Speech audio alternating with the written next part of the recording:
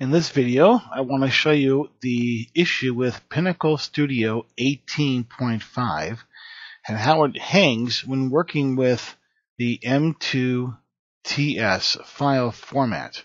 Now, I verify that this only happens with the M2TS file format. If I convert these to MP4 files, it actually works fine. So here I have a, um, a clipping here for an MT2S file. Just to kind of give you an idea, uh, the file size is um, what 1.3 gigabytes in size, and um, not that long of a file clip. It's what uh, 10 minutes long, so not that big of a file. And I've got it here under my source preview.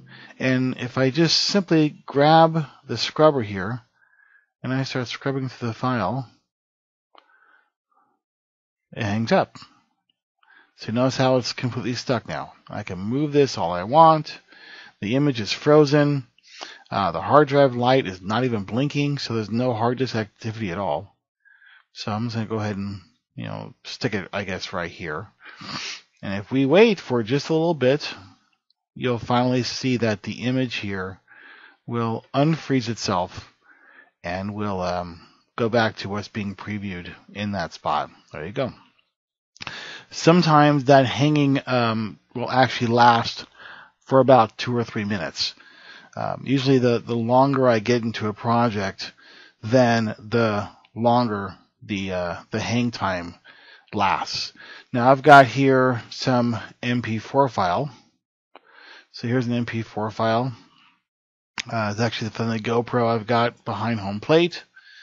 Again, if I go through and I start scrubbing this file here on the MP4, it should not hang. It should just continue to work with no issues. And I get no issues with the with the uh, GoPro MP4 files, you know, hanging at all. Uh, I know if I convert those MT2S files to MP4, they work fine, but that's just an extra step I got to do now. Uh, but yeah, there you go. I, it sounds like it's an issue with the codecs. So we need to um, R&D. If you can look at your M2TS codec and uh, find out why it's hanging, and then fix it in a patch, I would greatly appreciate it. Anyways, hope that helps. Thanks.